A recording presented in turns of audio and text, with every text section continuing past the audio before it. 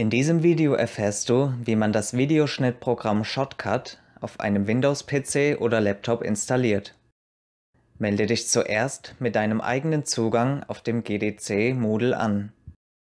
Klicke auf den Startseite-Button und wähle dann den Kursbereich Girls Digital Camps aus.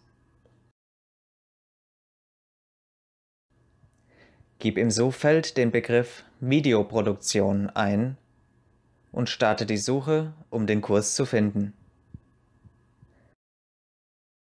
Wenn du den Kurs gefunden hast, klicke auf Zugang.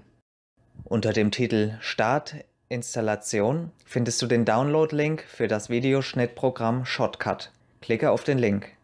Suche dann den Shotcut 64-Bit Windows Installer und klicke darauf, um den Download zu starten. Sobald der Download fertig ist, kannst du den Installer durch Anklicken öffnen. Klicke nach dem Lesen der Lizenzvereinbarung auf I agree und klicke anschließend auf Next. Setze ein Häkchen bei dem Punkt Create Desktop Shortcut in Klammern Icon, klicke dann auf Install und warte bis der Installationsprozess fertig ist. Klicke abschließend auf Close.